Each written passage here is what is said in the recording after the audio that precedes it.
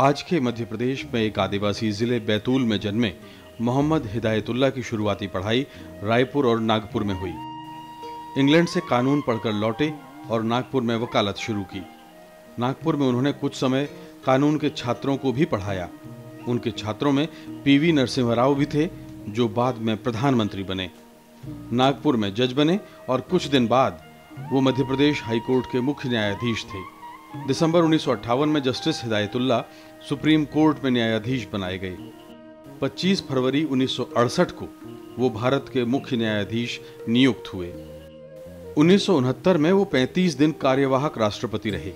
इसके लिए उन्हें मुख्य न्यायाधीश का पद छोड़ना पड़ा।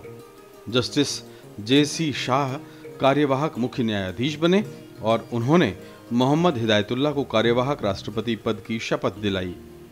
सुप्रीम कोर्ट से रिटायर होने के बाद जस्टिस हिदायतुल्ला मुंबई चले गए।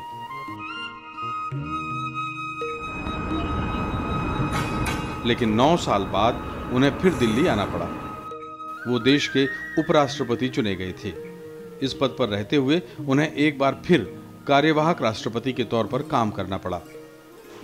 30 अगस्त उन्नीस सौ चौरासी को वो राज्यसभा के सभापति और उपराष्ट्रपति पद के भार से मुक्त हुए।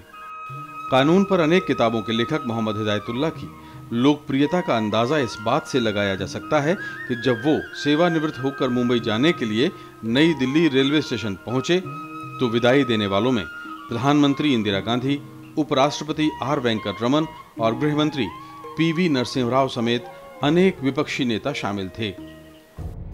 18 सितंबर उन्नीस सौ बानवे को दिल का दौरा पड़ने से मुंबई में उनका निधन हो गया।